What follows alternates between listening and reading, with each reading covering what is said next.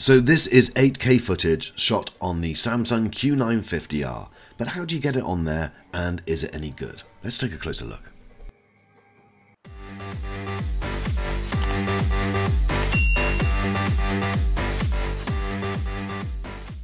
Now we're in the process of doing a review on this television set at the moment. This is the Samsung Q950R.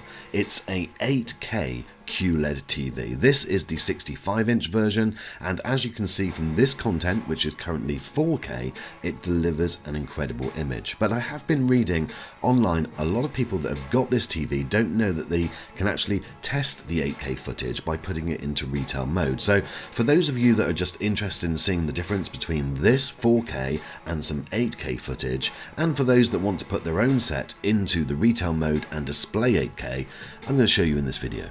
Now, I know a number of people out there are going to say that there's absolutely no point in having an 8K TV right at this point, because there just isn't the footage out there, and to some degree, I agree with them. However, at the start of any new technology, there's always got to be some people that take the leap first. And so, therefore, providing this and having this available so that people like you and me can see what is coming, well, I don't think that's a bad thing. Whether or not it's worth you spending your hard earned money and getting one of these, well, that's just down to you as an individual. Now, the other limitation is going to be whatever device you're watching this on and the fact that we filmed this in 4K. But this video really is to say go out to your local store and just check out what 8K looks like in reality.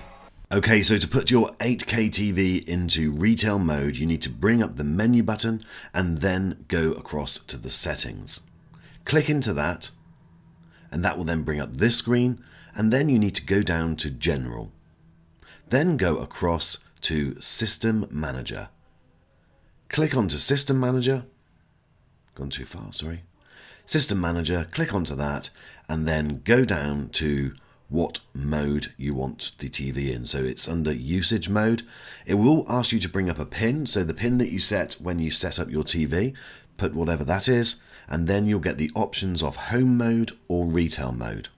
And we're going to select retail mode. And you'll notice straight away the brightness will crank up a level. Now it's important to put this back afterwards and I'll show you the reason why at the end of this demo.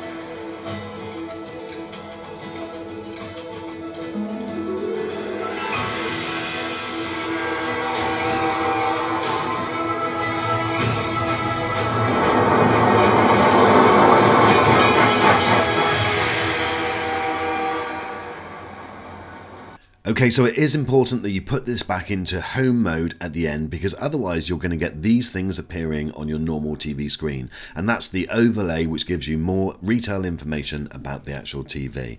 So again, all you just need to do is to go in and reverse the steps that you took originally in order to get this in. I'll show you that just now. So press the home button on your controller and then go across to settings.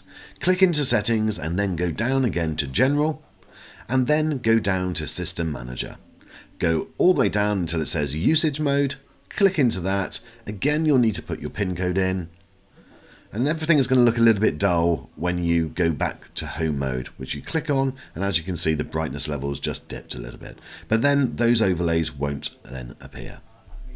So my friends, we're just in the editing of the final review on the Q950R.